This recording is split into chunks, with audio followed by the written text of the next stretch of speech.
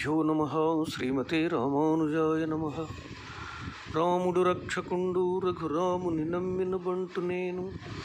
నాకేమి భయం చింతలిక ఏటికి? ఏమి ఘటించిన రఘుస్వామిది కీర్తి?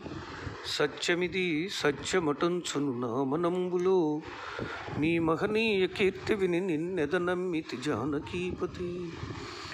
కరుణానిధియై రాఘవ శరణాగత జనములకు నజస్రము ప్రాపై శరణిధి లంఘించిన సుస్థిర బలు మారుతిని సిడియ తిరువడి గొలుతూ. ఓ మనస. భగవద్ రామానుజుల వారు ఆ రేపల్లె మధుర బృందావనము ఆ ప్రాంతముల యందు సంచరిస్తూ అక్కడ జరిగినటువంటి ఘట్టములను వారికి వివరిస్తూ అలా శిష్యగణంతో ఆ స్వామి ఆ పరమాత్మ తిరిగినటువంటి ప్రదేశములు ఆయన అడుగులు నడిచిన ప్రదేశములు అన్నీ గుర్తు తెచ్చుకొని చాలా సంతోషంగా అందరూ కూడా అనుభవిస్తూ ఉన్నారు. రామకృష్ణులు ముందు రంజిల్లి రెచ్చోట గోపిక గోప గోకులము తోడా. గోపికలు గోప బాలురు ఆవులు దూడలు వాటన్నింటితో కూడా వారు చాలా విలాసముగా విన్యాసాలు చూపించారు సుమా ఈ ప్రాంతమునంది. బృంద తపంబుంది విధికృతి యద్రూపమంది ముకుందు తనందు దాల్చే. ఆ బృందాదేవి తపస్సు చేసి ఈ గోవర్ధన పర్వతము ఈ ప్రాంతములలో ఒక బృందారణ్యములాగా అక్కడ చేరి అంటే అక్కడ భూమి మామూలుగానే ఉంటుంది అక్కడ ఆత్మ ఆమె ఆత్మ చేరి ఆ స్వామి యొక్క అడుగులు తలదాల్చింది చాలా సంతోషించింది. సుమా అంటే ఇవన్నీ దాదాపుగా గోవర్ధన పర్వతము ఈ బృందావనము ఇవన్నీ గో గోలోకము నుండి వచ్చినవి అని చెబుతూ ఉంటారు గర్గ భాగవతము నుండి. గర్గభాగవతంలో ఇలాగ చెప్తాడు ఆయన అక్కడవి ఇక్కడికి వచ్చినవి అని. విరజా నదే ఆ యమునా నదిగా ప్రవహిస్తూ ఉన్నది అని. సామాన్యంగా మరి భక్తుల భావాలు అలాగే కదా ఉండేది. రామదాసు గారు కూడా అలాంటి అలాగే అంటాడు కదా గోదావరి విరజ వికుంఠమున్ నారయ భద్రశైల శిఖరాగ్రముగాగ వసించు చేతనోద్ధారకుడైన విష్ణుడవు దాశరథి కరుణాపయోనిధి అంటాడు ఆయన శ్రీరమ సీతగాగా నిజ సేవక బృందము వీర వైష్ణవాచార జనంబుగాగా విరజానది గౌతమిగా వికుంఠమున్ నారయ భద్రశైల శిఖరాగ్రముగాగా అంటారు.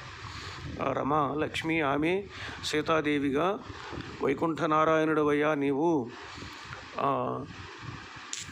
విరజానది ఇక్కడ భద్ గౌతమి గోదావరిగా ఇలా ఆ వీర వైష్ణవులందరూ కూడా నీ యొక్క పరిచారిక జనముగా వచ్చారు ఇక్కడ. నీ యొక్క దివ్య ప్రభావాన్ని చూపిస్తూ ఉన్నావు స్వామి అంటారు ఆయన. అలాగే యమున విరజానది యమున అంటారు. అక్కడ గోలోకము నుండే వచ్చినవి అంటూ ఉంటారు. ఎందు గుల్మలతాదులందొక్కటై పుట్టగోరెనుద్ధవుడు. అసంకుచిత భక్తి. ఏ ప్రాంతంలో ఒక పొదగా కానీ ఆ బృందావనంలో ఒక పొదగా కానీ లేక ఒక లత ఒక తీగగా కానీ లేదా ఒక చెట్టుగా కానీ పుట్టి ఉంటే ఎంత అదృష్టము నాకు అంటాడు ఉద్ధవుడు. ఆయన పంపించారు ఒకసారి ఆ గోపికలు విరహంతో ఉంటారయ్యా ఒకసారి వెళ్ళి రమ్మని. సరే ఆయన వస్తాడు. భాగవతంలో చాలా అద్భుతంగా ఆ ఘట్టాలన్నీ ఉంటాయి. వారు అక్కడ చూసి ఈ గోపికలను చూసి మర్చిపోకుండా ఉంటే అనేదో చెప్పబోయాడు అని ఎవరు మర్చిపోయారో అన్నారు. వాళ్ళు అసలు ఆ కృష్ణుడిని మర్చిపోవటం ఏంటి? మా ప్రాణాలే కృష్ణుడు.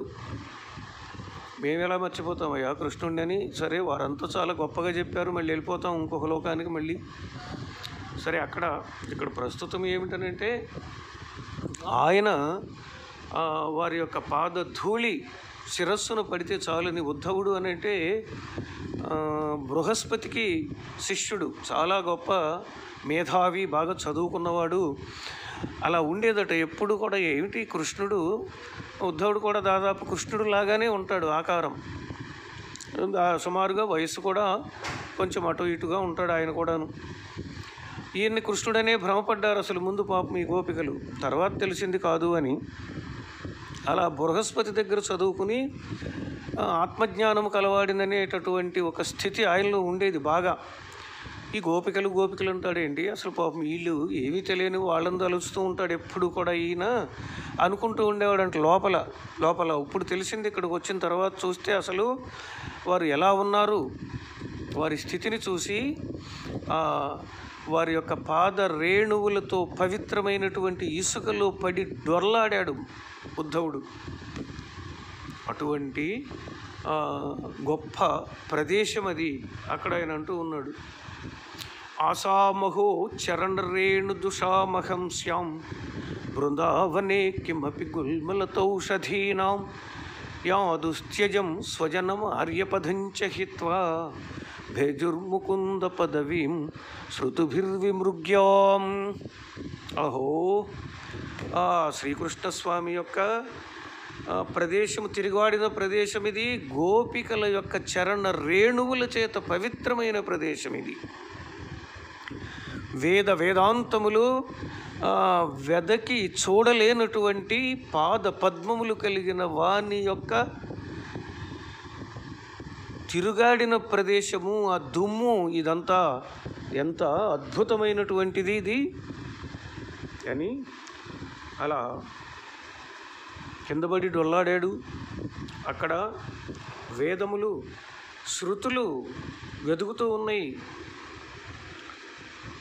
అట్లాంటిది సుమా ఇది ఈ ప్రదేశమని ఆయన ఇక్కడ ఈ బృందావనంలో కిమపి ఒకనొక గుల్మ లత ఓషధి.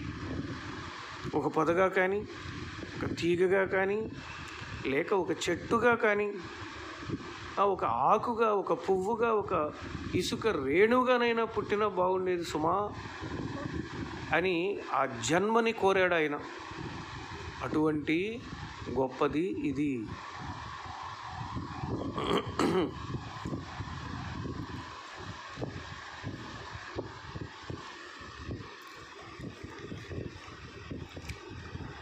ఎచ్చోట తడవుండే ఎరవు చేసుక ముందు శ్రీనాథముని గురుశేఖరుండు. పూర్వం నాథమునులు ఇక్కడ చాలా కాలం వచ్చి ఉన్నారు. అట్టి బృందావనము చెంది అఖిల గురుడు నందసూనుని చూచి ఆనందముంది. కనియ పావన యమునోపవనమును పవనమును నాథమునులు కూడా చాలా కాలం ఉన్నారు ఇక్కడే. బాలకృష్ణుని లీలలను తలంచుకుంటూ అటువంటి బృందావనము సుమా ఇది అని ఆ ప్రదేశాలన్నీ చూస్తూ యమునా నది స్నానములు చేసి అక్కడ ఉపవనములు తోటలు అన్నీ చూస్తూ ఉన్నారు అక్కడ. యమునా ప్రవాహమందవగాహనమునచ్చి కాళీ అహ్రద తట కలిత భవను కాళీయమర్దను కమలాక్షు సేవించి గోవర్ధనాలయు గోపవేషు కనుగొని సాష్టాంగ కలిత ప్రణాముడై పొగడి శ్రీ ద్వారకాపురము చెంది శ్రీ ప్రవర్షణగిరి శిఖరముపై నుండి కుప్పించి ఇరుకిన కుహకభయుల మాగధావహ విముఖుల మహితబలుల రామకృష్ణుల లోకైక రక్షకులను గాంచి లక్ష్మణముని వినుతించననుచూ ఆ యమునా నదిలో చక్కగా స్నానం చేసి చాలా సంతోషంగా ఆ ప్రదేశాలు చూసుకుంటూ వారు ఆనందపడుతూ ఉన్నారు. మరొక ఏమంటాము దాన్ని? ఒక సూక్తి లీలాసుకులు కూడా చెప్పారు. ఈ వేదములు వేదాంతముల్లో తిరిగే వారిని గూర్చి చెప్పాడు ఆయన. ఒక క్యాకేష్ చెబుతున్నట్లుగా వరమిమముపదేశము అద్రియధ్వం నిగమ వనేషు నితాంతచార ఖిన్నాహ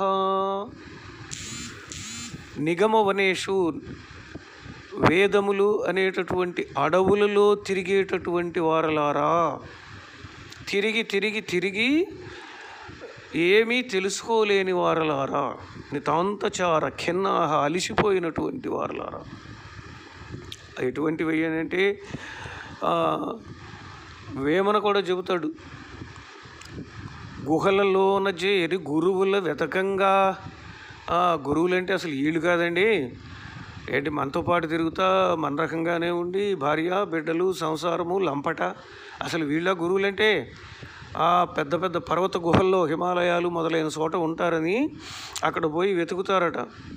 కోరపులి కండు తారసిల్లు ఏ గుహలో నుంచో చక్కగా వస్తుందో ఒక కోర పులి ముక్తి మార్గమదే ముందుగా చూపురా విశ్వదాభిరామ వినురవేమా. అదే చూపిస్తుంది సుమా మోక్ష మార్గాన్ని. లడ్డు మింగినట్టు మింగేస్తుంది దీన్ని పట్టుకుని అదే మోక్షం వీడికి. ఈ శరీరాన్ని విడిచిపెట్టిపోతాడు అంటాడు ఆయన కూడా ఇలా కూడా అన్నారు ఈ మాట. నా ఒక ఉపదేశం ఉన్నదే. చాలా మంచి మాట చెబుతా వినండి. అలసిపోయారు మీరంతా. ఈ వేదారణ్యాలలో తిరిగి అలసిపోయారు. మరి ఏం చేయమంటావయ్యా? విచినుత భవనేషు వల్లవీనాం ఉపనిషదార్థములు ఊఖలే నిబద్ధం. ఆ ఉపనిషత్తుల్లో మీకు కాసేపు ప్రాణమే భగవంతుడు అంటాడు. కాసేపు నీ యొక్క మనస్సే భగవంతుడు అంటాడు కాసేపు ఏమో ఈ శరీరముల్లో ఉన్నవన్నీ ఇంద్రుడు భగవంతుడు అంటాడు ఇలా అధికరణాలు అంటూ అబ్బో ఆ బ్రహ్మసూత్రాల్లో కావలసినన్ని అన్నీ చెబుతారు. ఇది కాదు ఇది కాదు ఇది కాదు అని చెబుతూనే ఉంటారు మళ్ళీ చివరికి. ఇది పరమాత్మ కాదు ఇది పరమాత్మ కాదు. ఈ స్థితి వీళ్ళది నేతి నేతి అంట ఇది కాదు ఇది కాదు అంటే ఇంత మాత్రమే కాదు ఇంత మాత్రమే కాదు. ఇక్కడ అద్వైతులంతానేమో ఇది కాదు ఇది కాదు అసలు పరమాత్మ ఏది కాదు అంటారు చివరికి మరి ఇక్కడ విశిష్టాద్వైతులు వచ్చి నా ఇది అంటే ఇంత మాత్రమే కాదు ఇంత మాత్రమే కాదు పరమాత్మ ఇది పరమాత్మే కానీ ఇంకా ఉన్నాడు. ఎంతసేపు కొట్టుకుంటారయ్యా ఎందుకయ్యా బాబు ఈ గోల మరి ఏం చేయమంటావయ్యా? వ్రేపల్లికి పండి ఆ బృందావనానికి వెళ్ళి విచినుత భవనేషు అల్లవీనాం ఆ స్త్రీలు ఉంటారు కదా అక్కడ గోపికలు. యశోద మొదలైనటువంటి వాళ్ళ ఇళ్ళలోకి పోయి ఎతకండయ్యా. అక్కడ మీరు వెతికేటటువంటి ఉపనిషదార్థం ఉపనిషదర్థం ఉన్నదే ఇది ఒక రోటికి కట్టేసి ఉంటుంది. మీకు ఇక్కడ దొరకట్లేదుగా? అదే ఇదే ఇదే అదే అని అవునని కాదని. వేరేం వేరే ఏం ఇక వీళ్ళ సంగతి అప్పటికేంటి? ఇప్పటికీ అంతే వాళ్ళందరూ కూడా. ఈ వేదాలు చదివే వాళ్ళందరూ కూడా పరమ ఛాందసులు బుద్ధి జాడ్య జనితోన్మాదులు అంటాడు వాళ్ళనేమి నిందించడం కాదు మరి. వాళ్ళని పని కట్టుకుని తిడితే నాకు ఏమైనా వచ్చేది ఒరిగేది ఉందా? కానీ ఇక వారి తీరంతే ఎప్పుడు కూడా ఇట్లా ఉంటారు. అక్కడ పోయి వెతికినట్లయితే అక్కడ రోటికి కట్టేసి ఉంటుందయ్యా. అంటే ఏముంటుంది రోటికి కట్టేసి అంటే కృష్ణుడు అక్కడ కట్టేసిందిగా గోపిక. గోపిక త్రాటగట్ట ఒక రోట కట్టింది అక్కడ. వెళ్ళి వెతకండి అంటే ఎందుకు ప- పడిపోతారు వీటిల్లో? భాగవతం చదువుకోండి అయ్యా కృష్ణ లీలలు విని చదివి ఆనందంగా మైమరిచిపోండి ఇది నా యొక్క ఉపదేశము అంటాడు ఆయన. ఇంకా చెబుతున్నాడు ఆయనే చెబుతాడు. నిజానికి నిన్న చెప్పాల్సింది మరి గుర్తొస్తేనే కదా నా నా వశమా మరి చెప్పటం నేను చెబుతూనే ఉన్నా కదా ఆయన చెప్పాడు ఒక మాట. శైవావయం నఖలు తత్ర విచారణీయం. పంచాక్షరీ జపపరాం నితరాం తథాపి. చేతో మదీయ కుస్ అతసీ కుసుమావభాసం స్మేరాననం స్మరతి గోపవధూ కిశోరం మేమంతా శైవులమేనయ్యా. మా పెద్దలు మా తాతలు మా తండ్రులు అందరూ శైవులమే. ఏమీ అక్కడ సందేహం అవసరం లేదు. పంచాక్షరి జపపరాం పంచాక్షరి జపం చేస్తూ ఉంటాం మేము. జపం కూడా ఏం చేసేది అష్టాక్షరి కాదు. జపం కూడా పంచాక్షరి. కానీ నా మనసు ఎందుకో ఆ నల్లని ఆ అగిసె చెట్టో కాటుకు చెట్టో ఏదో అంటారు దాన్ని కానుగు చెట్టో. అట్లాంటి కాంతి కలిగినటువంటి శరీర కాంతి కలిగినటువంటి చిరునవ్వులతో కూడినటువంటి గోప వధు కిషోరం గోప వధువు ఉన్నదే ఆ నందుని యొక్క భార్య యశోదాదేవి ముందు చిందులు తొక్కేటటువంటి సింహపు పిల్ల స్మేరాననం చిరునవ్వుతో కూడిన ముఖం కనిపిస్తూ ఉంటుంది సుమా నా మనస్సులో ఎప్పుడు అదే చిందులు తొక్కుతూ ఉంటాడు ఆయన పొమన్నపాడు సుమా అన్నాడు. అలాగే పోతన గారు కూడా అన్నాడు. ఆయన ఒక సోమోపరాగము అంటే ఒక గ్రహణ సమయంలో చంద్రగ్రహణ సమయంలో పోయి ఆ గంగకుంజని గృంకులిడి గంగకు అంటే పాతాళ గంగది గోదావరి నదో ఏదో అంటారు మరి పాతాళ గంగ అక్కడ పోయి స్నానం చేసి ఆ ఇసుక తిన్నెల మీద మహేశ్వర ధ్యానం చేస్తూ కూర్చున్నాడట. మహేశ్వరుడి శివుడే అక్కడ. ఏమీ సందేహం లేదు. ఆయన ఏమీ ఎత్తుక్కుని అవసరంలా. కానీ శివధ్యానంతో కూర్చున్న వాడికి రాముడు కనపడ్డాడు. మరి ఇదేమిటి నీలనగాగ్ర సన్నిహిత భానుని భంగి ఘన కిరీటము తలగలుగువాడు మెరుగు చెంగటనున్న మేఘంబు కైవడి ఉవిధ చెంగటనుండ నొప్పువాడు. వల్లీయుత తమాల వసుమతీజము భంగి బలువిల్లు మూపున బరుగువాడు. చంద్రమండల సుధాసారంబు పోలిక చిరునవ్వు మోమున మొలచువాడు. ఆ ఘన కిరీటము తలగలుగువాడు. రాజముఖ్యుడొక్కరుడు నా కన్ను గవకు. ఎదుట కానబడియే. నా కళ్ళ ముందు ప్రత్యక్షమయ్యాడంటూ ఉన్నాడు ఆయన ఏ రామభద్రుండా మన నామాంకితంబుగా భాగవతంబు తెనుంగు సేయుము నీకు భవబంధంబులు తెగునని ఆనతిచ్చి అంతర్హితుండయ్యే నువ్వెవరు ఏంటని అడగాల్సిన పని లేకుండానే తన పరిచయం తానే చేసుకున్నాడు నే రామభద్రుడను. ఏ రామన్నయ్య నాకు అంకితం చేయి భాగవతం తెలుగు చేయి నీకేం భయం లేదు నేను వెనక ఉంటా. మరి ఆయన శైవుడే. మరి వాళ్ళందరూ కూడా శైవులే. మరి వాళ్ళకి ఆ రాముడు ఆ కృష్ణుడు అలా కనపడుతూ ఉన్నారు మరి. వాళ్ళందరూ కూడా ఇలా ధ్యానం చేస్తూ ఉన్నారు. మరి ఎందరో మహాత్ములు ఇలా లాక్కుపోతారు కానీ ఎక్కడన్నా ఏదన్నా పదం వస్తే మరి కనపడవా? ఎంత అద్భుతమైనటువంటి ఎలా కనపడతాయి నిజంగా పుణ్యం చేసి ఉండాలి. వారికి కనపడవు వారిని అనుసరించే వారికి కనపడవు. పుణ్యం కావాలండి ఊరికే ఎలా లభ్యమవుతుందండి ఇది? అటువంటి గొప్ప ప్రదేశములన్నీ కూడా వారు తిరుగుతూ ఉన్నారు చెబుతూ ఉన్నారు ఆనందపడుతూ ఉన్నారు. అటువంటి దివ్య దేశములవి ఆ యమునా నదిలో స్నానం చేశారు చక్కగా.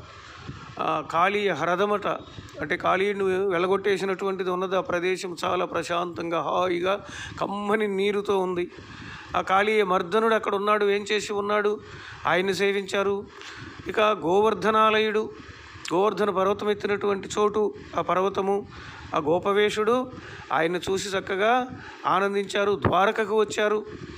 ప్రవర్షణగిరి మీద నుంచి దూకాడు కదా అప్పుడు. కుహక భయులు. అని అంటే భయపడినట్టు నటించిన వారట రామకృష్ణులు. ఎవరి కోసం? జరాసంధుడు ప్రక్కని కాలేవుడు మరొక ప్రక్కని కూడా దండెత్తి వచ్చారు మధుర మీద. అంతకుముందు పదిహేడు సార్లు వచ్చాడు జరాసంధుడు. పదిహేడు సార్లు కూడా విడిచిపెట్టించాడు. వాడిని చంపనీయలేదు బలరామస్వామితో. వాడు ప్రతిసారి సైన్యాన్ని తెస్తాడులే అన్నా. మనం ఇక్కడ హాయిగా ఉందామన్నాడు. వాడు పట్టుకొచ్చిన వాళ్ళందరినీ చక్కగా చంపి పంపించేవాడు. అలా దుష్ట నిగ్రహం చేశాడు ఆయన. ఆ పద్దెనిమిదవసారి కాలయవనుడు మరో ప్రక్కనే ఈ జరాసంధుడు ఇంకో ప్రక్కని వస్తే మధురలో ఉన్నటువంటి వారందరినీ కూడా విశ్వకర్మ చేత సముద్రంలో ద్వారకా నగరాన్ని నిర్మించి అరవై ఆమడ పట్టణాన్ని నిర్మించి సంకల్పం చేత పంపించేశాడు. మొత్తాన్ని అక్కడికి ఈ ఇద్దరు చక్కగా బయటకు వచ్చారు ఏదో భయపడి వస్తున్నారు అనుకున్నారు వీళ్ళు కుహక భయులు అంటూ ఉన్నాడు ఆయన. వారికేమీ భయపడలేదు. అలా నటించి ప్రవర్షణ పర్వతం మీదకు ఎక్కి అక్కడ నుంచి దూకేశారు వారు. అదిగో అలాంటి ఆ ప్రదేశములను చూస్తూ ఆ కథలు గాథలను చెప్పుకుంటూ లక్ష్మణముని భగవద్ రామానుజులు వారు అలా బయలుదేరారు. హాయిగా నడుస్తూ ఉన్నారు. అక్కడంతా చెబుతూ ఉన్నారు. ఇదిగో ఇలా చెప్పుకోవాలి సుమా అని.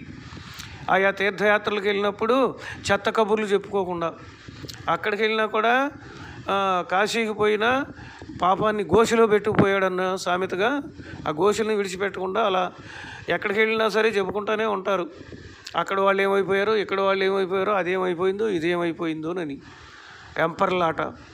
కానీ అక్కడ జరిగేటటువంటి ఆ భగవంతుని యొక్క గాథలు మరి అన్ని చోట్ల ఆయన దేనికండి అక్కడ? మరి ఇన్ని చోట్ల అసలు ఎందుకున్నాడు ఇన్ని రూపాల్లోనంటే ఎక్కడో ఒక చోట దొరక్కపోతాడా ఈ జీవుడు అనేట ఆయన. ఆయన అంతటా ఆయన పొరపాటును కూడా తీసుకోడు. తీసుకుంటే మళ్ళీ పక్షపాతం అవుతుంది అందరినీ కూడా గ్రహించాలి కదా. ఎందుకు ఈ గోల? ఎవడైతే వస్తాడో వాడి కోసం చూపిస్తాడు ఇవన్నీ. ఒక చెప్పారు ఆళ్ళవార్లు కూడా ఒక వ్యక్తిని పట్టుకోవాలంటే పిల్లలోకాచార్యులు వారు అనుకుంటే చెప్పింది. ఎన్ని ఎందుకండి అవతారాలు అంటే నంబిళ్ళ గారు ఎవరు మొత్తానికి వారు అన్నారు. ఎందుకోసం ఈ అవతారాలు ఇన్ని ఎత్తాడు అని అంటే ఒక దొంగ ఊళ్ళో దూరితే దొంగని తరుముకుంటూ వచ్చారు. వాడు లోపల ఊర్లోకి వెళ్ళిపోయాడు. ఊరు చుట్టూ కాపలా పెడతారు. ఊరు చుట్టూ ముందు కట్టేస్తారు కదా కాపలా పెట్టేస్తారు. అటు బయటికి పోనీయకుండా ముందు ఆపుతారు. చెక్ పోస్ట్ లాగా. వాడు ఎటు నుంచి వెళ్ళాలన్నా దొరకాల్సిందే. ఇక అప్పుడు లోపలికి పోయి ఎతుకుతారు. అలాగే ఈ జీవుడు అనేవాడు పారిపోయి వచ్చాడు పరమాత్మ సన్నిధి నుండి. ఆయన పట్టుకోవటానికి ఇదిగో ఇన్ని రూపాయలు సుమా ఇన్ని అవతారాలు ఇన్ని రకాలుగా ఆయనే మొత్తం వచ్చాడు. ఒక్కొక్కసారి వాడికి సరే ఆ, నిజంగా శివుడు అంటే ఇష్టమే అనుకోండి శివరూపంలోనే వాడిని పట్టుకుంటాడు. శక్తి అంటే ఇష్టం అనుకోండి శక్తి రూపంలోనే వాడిని పట్టుకుంటాడు. వేప చెట్టు పోతురాజు పోలేరమ్మ ఏది ఇష్టమైతే దాంతోనే పట్టుకుంటాడు వచ్చి. అన్నీ ఆయనే. అన్ని రూపాలు ఆయనయే. అలా పట్టుకుంటాడు వచ్చి. అటువంటి పరమాత్మ యొక్క తిరుగాడినటువంటి నడయాడినటువంటి ప్రదేశాలవన్నీ కూడా వాటిని చూసి చక్కగా చెబుతూ ఉన్నాడు. చూడండి. ఎంత చక్కని వర్ణనలు చేస్తూ ఉన్నారో చూడండి ఎంత గొప్ప అదృష్టము మనది.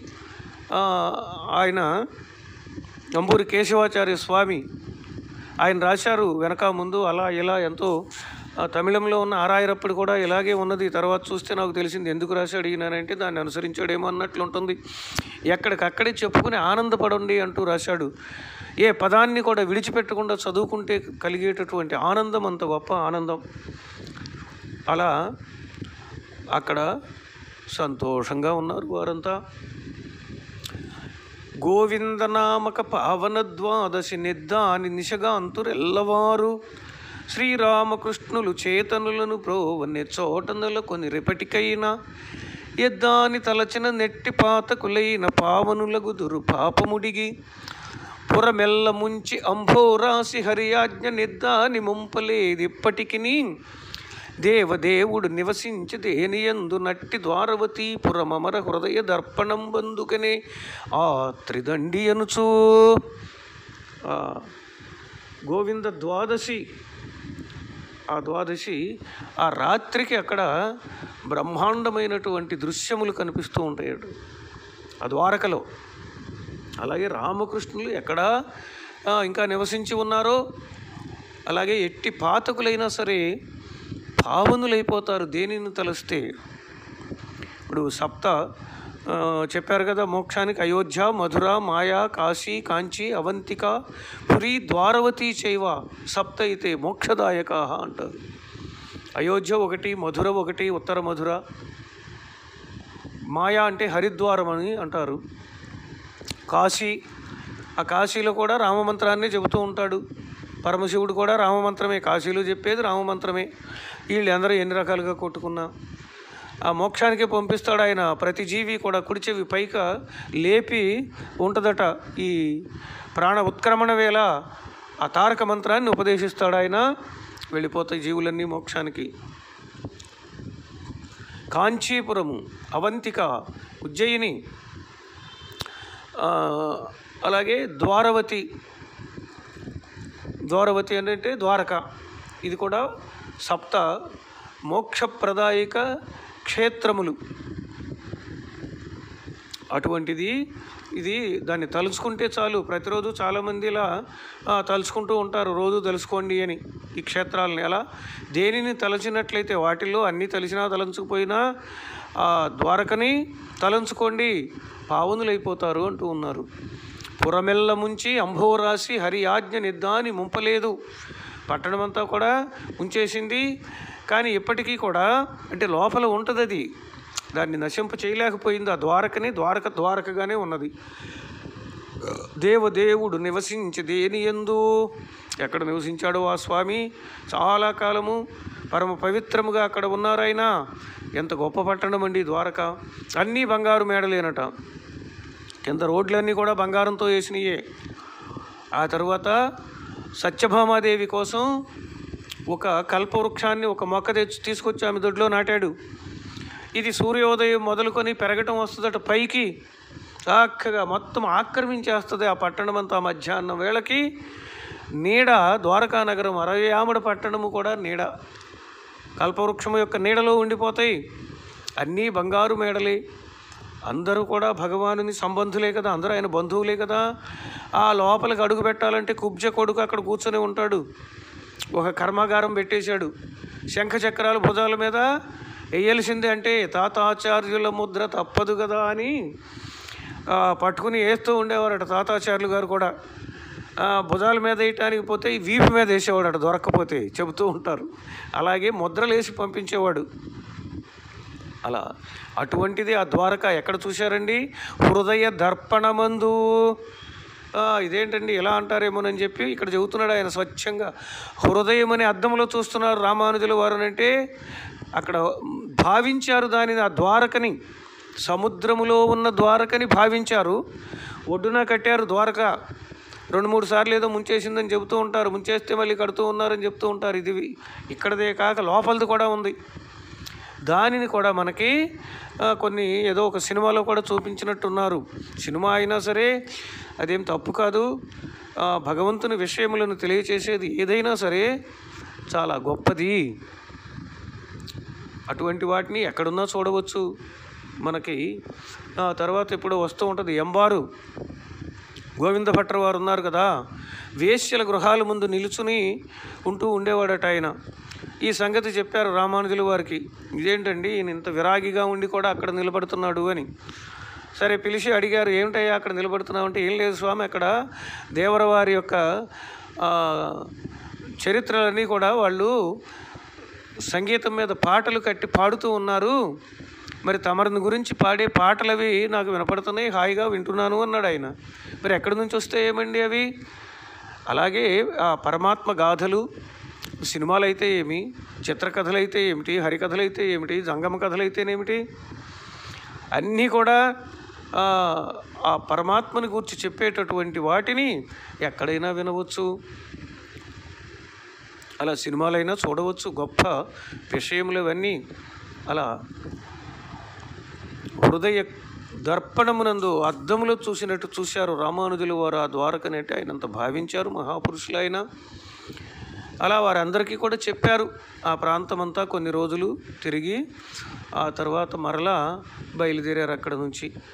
పొడమి పొలంతుక పొల్పొందగా తన కొనకొమ్ముపై ముస్త కొలది దాల్చి శ్వేత వరాహము వెల్వడిన బిలంబు పుష్కర తీర్థమై పుడమి వెలసే. ఆ పుష్కరాట వికరిగి యజ్ఞవరాహు నర్చించి కని అయోధ్యాపురంబు విశ్లేష భీతులై వివిధ ఋషులర్ధింప అర్చాస్వరూపమై అచటనున్న రాము సానుజు సీతాభిరాము హనుమదాది పరివృతు సరయూ తటాలయస్తూ కాంచి వినుతుంచే శ్రీ భాష్యకర్తయనుచూ. అక్కడ నుంచి బయలుదేరారు. ఇది పుష్కర తీర్థము. శ్వేతవరాహము దాంట్లో నుంచి బయటకు వచ్చిందట తర్వాత. అటువంటి యజ్ఞ వరాహుని వరాహస్వామిని అక్కడ అర్చించి తర్వాత అయోధ్యకి వచ్చారు.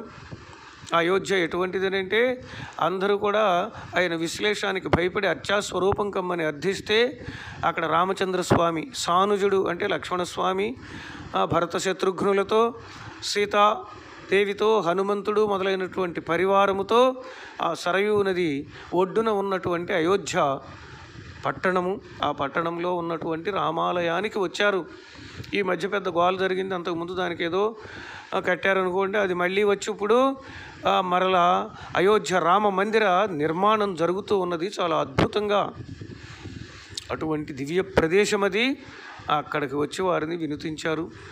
అచట నుండి ప్రయాగ కరిగి త్రివేణిని స్నానపానాదుల సత్కరించి తీర్థీకరించి తత్తీర నివాసుని మాధవు వినితించి మరియు గయకు విచ్చేసి వటమును విష్ణుపాదము గదాధరు భక్తి కేల్మోడ్చి తరలి వెడలి వెడలు వెడలుపు ఆమడ అంత పొడవు సాలగ్రామ నగమును గండకీ నదిని మరియు స్థల జలజ భిద అభిన్న సౌమ్య రామ కృష్ణ నృహరి వరాహాది విష్ణు దివ్యమూర్తులను చూసెను ఆ శేషమూర్తి అనుచూ అక్కడి నుంచి బయలుదేరి ప్రయాగకు వెళ్ళారు త్రివేణిలో స్నానం చేశారు. ఆ బిందు మాధవ స్వామిని కీర్తించారు తర్వాత గయకు వచ్చారు. అక్కడ వటము వటవృక్షాన్ని చూశారు విష్ణుపాదము. గదాధరుడు అక్కడ ఉంటాడు ఆయనకి నమస్కరించారు. పెద్ద పొడవు కలిగినటువంటి ఆమడ పొడవు ఆమడ వెడల్పు ఉన్నటువంటి సాలగ్రామ పర్వతాన్ని చూశారు గండకి నదిని చూశారు అక్కడ నుంచే వస్తూ ఉంటాయి. ఏ మనకి సాలగ్రామములన్నీ రామ కృష్ణ నృసింహ వరాహ మొదలైనటువంటి దివ్యమూర్తులు సాలగ్రామములు మనకి చూపిస్తూ ఉంటారు. అనేక సాలగ్రామాలను చూపిస్తూ ఉంటారు. అటువంటి సాలగ్రామ మూర్తులను చూశారు ఆయన. అలా వైకుంఠపదమందు వాసుదేవుని చూసి నైమిషాటవి రమానాథుగాంచి హరిని హరిద్వారమందు కన్నులగని కాశ్మీర దేశము కడ సపాద లక్ష పర్వతము లక్- అలక్ష్యముగా దాటి వెన్న ముద్దల త్రో వెంట జనుచు తాల తమాల తక్కువల హింతాల రసాల సాల కదంబ సరళ వకుళ చంపకాశోక పున్నాగ చందనాది కమ్ర ఫల పుష్ప పల్లవ నమ్ర శాఖ శాఖులను చూసే సంయమి స్వామి అనుచు అక్కడ వాసుదేవుడిని దర్శించారు. నైమిషారణ్యంలో రమానాథుడిని చూశారు. హరిద్వారములో శ్రీహరిని చూశారు. అలా కాశ్మీర దేశానికి బయలుదేరారు. అనేకములైనటువంటి వృక్షములతో తోటలతో అలా ఉన్నవి సుమా అక్కడ అలా బయలుదేరారట.